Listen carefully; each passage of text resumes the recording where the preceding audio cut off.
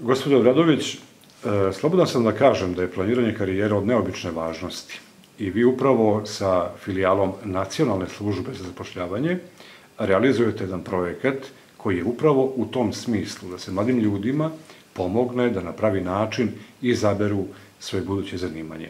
Pa evo da kažemo nešto više o projektu, najpre kako je naslovljen projekat, koji su njegovi ciljevi i naravno ciljna grupa.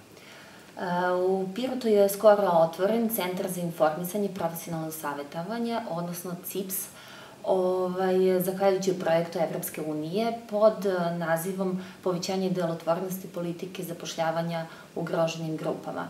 Ovaj, CIPS je namenjen prvenstveno uh, mladima, odnosno učenicima osnovnih i srednjih škola, kojima su potrebne informacije i profesionalno savjetovanje za donošenje adekvatne odluke u vezi izbora zanimanja, škole, fakulteta, usavršavanja ili informacije o opisima zanimanja, ovaj, obukama i tako dalje.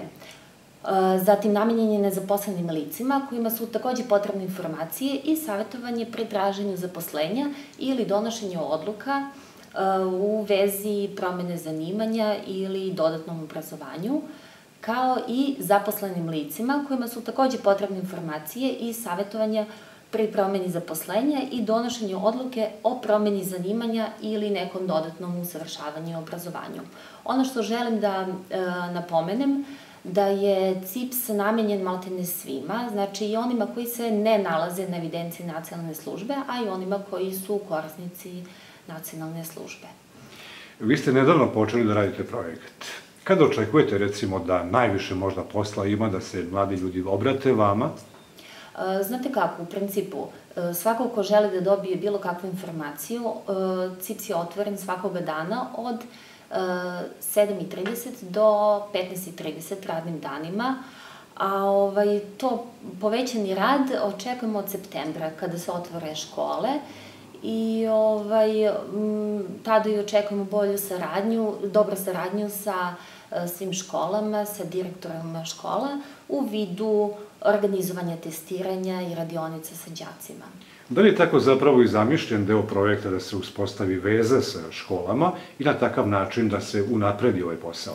Tako je. Znači, e, projekat je osmišljen tako da, e, ovaj, da se organizuje radionice, grupne i individualne sa decom, e, završnih godina, znači sa decom osnovne, osnovne škole i srednje škola.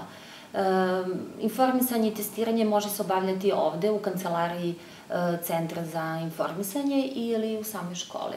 To ćemo se naknadno dogovoriti. Da, sa... često praksa pokazuje da mladi ljudi, osnovnoškolci, posle završene e, te školice, često pogrešno zanimanje izaberu, odnosno školu, a, a takođe i posle završene srednje škole, obično po ugledu na druga, prijatelja, da je upisao neku školu i zbog toga je verovatno jako značajno da se, eto, konsultuju sa vama kako bi se našlo pravo rešenje, jer svakako da je neko možda nadaren za neke druge stvari, a usmerio se u drugom pravcu. E, tako je, kao što svi znamo, izbor zanimanja je jedna od najvažnijih životnih odluka i zato je vrlo bitno da ne pogrešimo.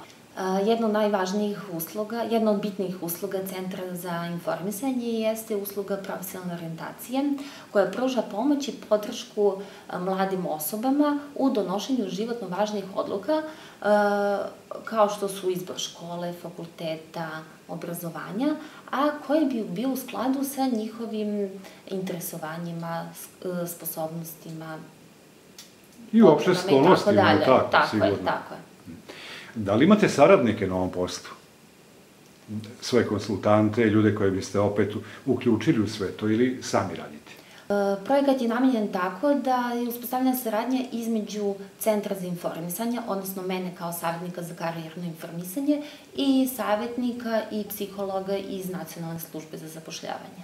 Htjela bih da još da dodam da je Centar za informisanje i profesionalno savjetovanje e, otvoren je za sve one koje nemaju kod kuće kompjuter, odnosno internet, a koji bi hteli da se informišu i pregledaju ponude aktualnih poslova ili e, za sve one koji ne znaju samostalno da napišu CV i odnosno radnu biografiju i konkurišu za posao. Pa to je zaista sjajna prilika da se eto u ovom finom ambijentu gde postoji, postoje odlični uslovi, uz vašu pomoć mladi ljudi dođu do dragocenih saznanja. Tako je. Znači, uz pomoć mene e, mi ćemo zajedno doći do onih informacija koje su njima potrebne. Tako I da- kada se konkuriše za posao, kako treba napraviti CV, tako? Da, treba napraviti dobar CV, pripremiti se za razgovor i to je to. Sva ona osnovna upustva. Tako.